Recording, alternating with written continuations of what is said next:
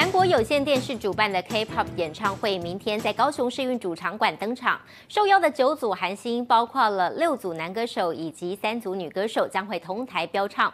而在今天下午，韩星陆续抵达高雄，上千名粉丝挤爆了机场，近距离见到偶像，瞬间暴动。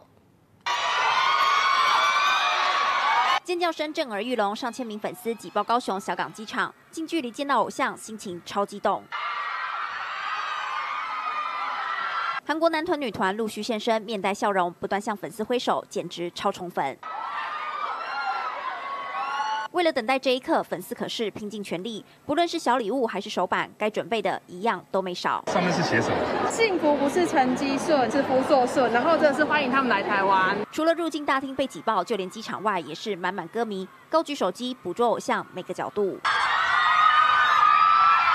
韩国有线电视主办 K-pop 演唱会，十三日将在高雄试运主场馆登场，受邀九组韩星，包括六组男歌手以及三组女歌手，阵容豪华，堪称最强韩流拼盘。我没有一直很喜欢陈奕迅，然后我想说，哇，这一次这么多韩团都可以来，那一次看这么。果不来，好像很可惜。为了英英演唱会，北中南粉丝齐聚高雄，高捷备战疏运。高雄捷运备有加班车，以服务当日大批进场歌迷。往小港方向班距可达三分钟一班。当日末班车于两四栋栋由各端点站发车。大咖韩星同台飙唱，掀起 K-pop 黄金浪潮，粉丝迫不及待要与偶像嗨翻港都。记者梁子月、庄奇渊高雄采访报道。